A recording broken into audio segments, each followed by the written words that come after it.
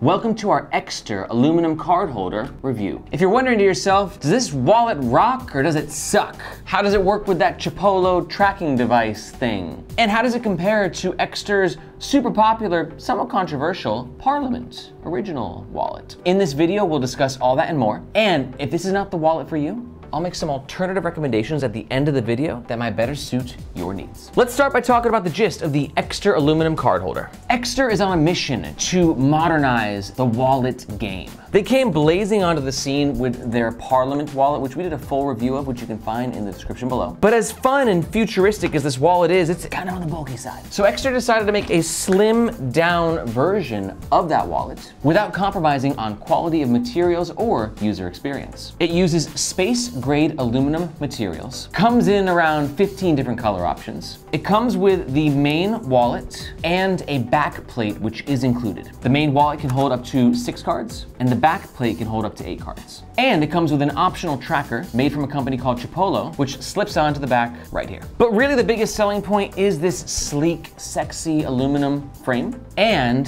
the trigger access which is either super awesome or super Ekster, depending on, you know, what you're looking for. For me, it's a bit extra, but for a lot of people, they just love the satisfaction of being like, don't worry, Bill, dinner's on me. All extra products are covered by their 12 month warranty, and this wallet runs around 70 to 80 USD, depending on the color you get, and the Chipolo tracker comes in at an extra 35 USD. And if at any point in time you're like, yes, I wanna do that, that's, that's what I want. I don't care what it costs. And you're gonna make a purchase, we do ask that you do so using the first link in the description. Reason being, that link makes sure that you get the best price, and sometimes we have discount codes. But that link also helps to support the Nomads Nation YouTube channel, which we greatly appreciate. Thank you so much. First up, let's talk about branding. The original had a logo on the outside and one, two logos on the inside, but the new aluminum card holder has the E on the money clip and the complete Ekster branding on the back plate. Oh, and we got Ekster on the side there. Little extra branding, I think, for a premium wallet brand, but not a deal breaker in my opinion. But let's talk about the most important feature of this wallet, in my opinion, next to the trigger, which is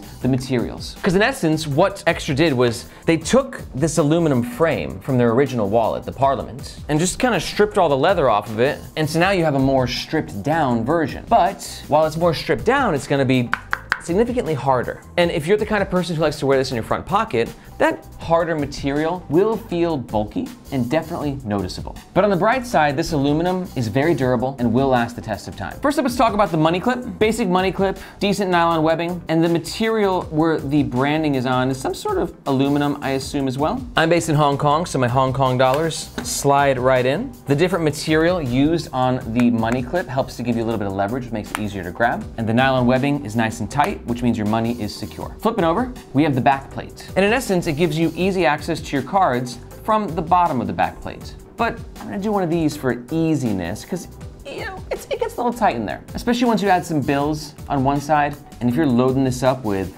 six cards on the other side, the quickness of the access will sort of vary. Ekster was kind enough to give us a little thumb slit right there, right? Which in essence just allows you to easier access the card, but it's gonna take a little finagling to get it out. But if you don't mind two-handing it and sort of doing one of these, you know, it's always accessible. The question will just be how quickly accessible it's going to be. One nice design choice though is that Ekster on this back plate, they gave the bottom a little bit of a groove, which therefore makes it easier to slide the card into place. Okay, now let's talk about the actual trigger system, the biggest unique selling point, right? The trigger system itself, in my experience, has worked very, very well well. It's a patented, difficult word to say, patented mechanism that just all you gotta do is kind of give one of these and the cards pop up into place. And usually the cards have an order to them. So the ones in the back, the tallest ones, and the ones in the front are the shortest ones. But I say usually because it doesn't always work perfectly. Eight times out of 10, eh, nine times out of 10, it works actually pretty seamlessly. Note that some people do say the trigger has broken on them. I've used this wallet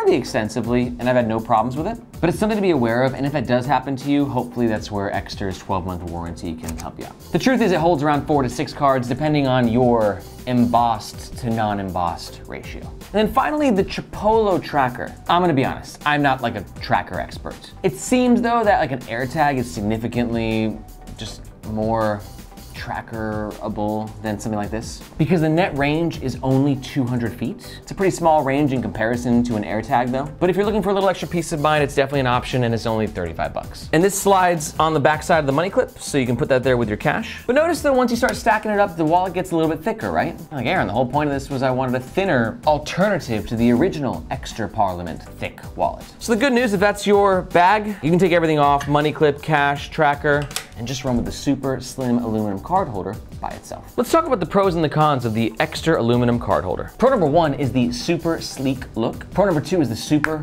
durable aluminum space grade materials. And pro number three, you gotta love a product that has a ton of modular accessories. It gives you options. But on the flip side, some of the cons, with the durability of that material is going to come, you know, extra bulkiness in your pocket. And con number two is that the trigger system might just be a little bit extra for some of y'all out there. But if you've taken the pros and cons into consideration, you're like, I want one of those wallets, they're so freaking cool. Get me one right now. Then just remember, we do ask that you do so using the first link in the description below. Thank you very much. But let's say you're not 100% sold. You're close, you're still here, right? But you're like, Aaron, those alternative suggestions, that's what I stuck around for. Give them to me. I got you. Alternative suggestion number one is going to be the original Ekster Parliament wallet. This will be for you if you love the whole trigger system, but you like the traditional leather look and feel. This wallet is just freaking huge. A lot of my peers and friends love it. And to learn more about it, go ahead and navigate down to the description below and you'll find links to our full review. Alternative suggestion number two is going to be the Aviator wallet. This is a great option for you if you're super into like high craft engineering and materials.